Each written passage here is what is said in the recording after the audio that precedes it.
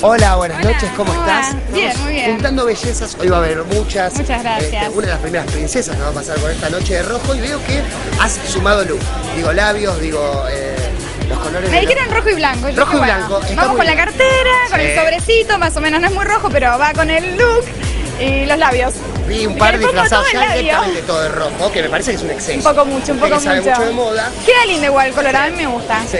Bueno, ¿cómo va este verano? ¿No estás acá en Mar del Plata? ¿Has elegido en algún momento venir a la ciudad Sí, yo toco y me voy, ¿viste? Vengo un ratito y a, a cumplir con los trabajos, aprovecho para quedarme un par de días y disfrutar y después ya me vuelvo a cumplir con las obligaciones. Bueno, ¿y cómo va el teatro? Pues, Re bien, estoy re contenta, sí, por primera vez, por primera vez, había estado en el teatro con Pachano y haciendo el arcoíris, pero la verdad que la pluma hasta ahora no me la había puesto y fue una linda experiencia, ¿Y la verdad qué que está tiene que ver bueno. con qué? ¿Con que te sentís bien con tu cuerpo? Con estás que apareció este proyecto y me resultó tentador, me divertí hacerlo y dije, bueno, hay que probar todo. Lo más tentador es el chino que quiere hacer un paneo, ¿no? Chino, tiéntese.